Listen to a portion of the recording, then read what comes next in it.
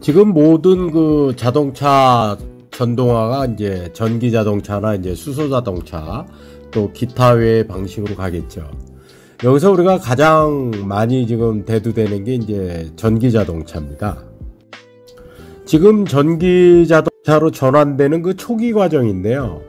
벌써 그 배터리 원자재 상승으로 과연 이 전기차로 전환이 제대로 될 수 있을까 의구심이 듭니다.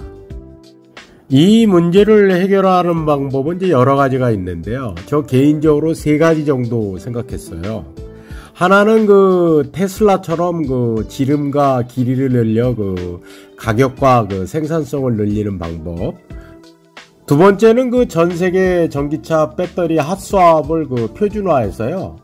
배터리 모듈을 표준화하면 그 주유소 같은 배터리 스테이션에 가서 언제든 그 거리에 맞는 그 배터리 모듈로 갈고 운행한다면 굳이 모든 차가 그 500km를 넘는 그 무거운 배터리를 달고 다녀야 할 필요가 없을 것 같습니다. 그래서 그 전기차 트럭의 경우 이 방식이 아주 효과적이지 않을까 생각이 듭니다. 전기차 트럭의 경우 그 장거리를 달릴 경우 배터리 무게가 만만치 않다고 합니다.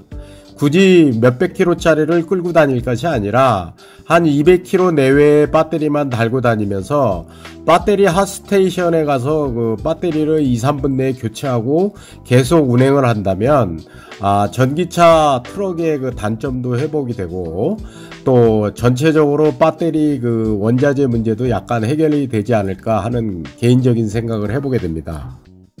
세 번째는 그 리튬 인산철처럼 좀 저렴한 배터리로 초저가 그 초소형 도심형 자동차를 좀 개발해서 시내에는 이런 차들만 운행할 수 있게 하면 어떤가 하는 생각을 해봤습니다.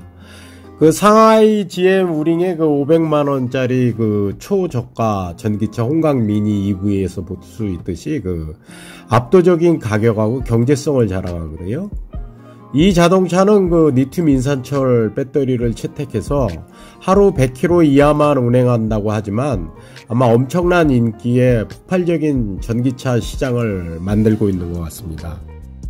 아무튼 앞에서 말한 세 가지 방식 중에 저 개인적인 생각은 어, 특히 대형 트럭 같은 경우 굳이 뭐 큰 배터리를 달고 다닐 것이 아니라 아, 표준화를 빨리 해서 그 배터리 스테이션을 이용해서 배터리를 교체하고 운행한다면 아, 거리와 상관없이 그 아, 대형 트럭커들도 그 해결하는 그 충전 문제라든가 기다림의 문제가 해결되지 않을까 하는 생각을 해봅니다.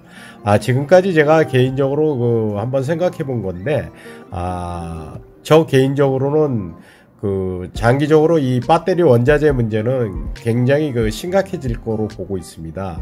특히 그 중국의 그 리튬이나 위안화에 그만 사용되는 그 히토류, 특히 그 중에 그 리튬 같은 경우는 오직 중국만이 현재 가공하고 아, 생산할 수 있는 환경입니다. 결국엔 중국이 이 문제를 아, 막아버리면 전 세계 자동차 공급망도 문제가 될 것으로 보입니다. 아, 지금까지 들어주셔서 감사합니다.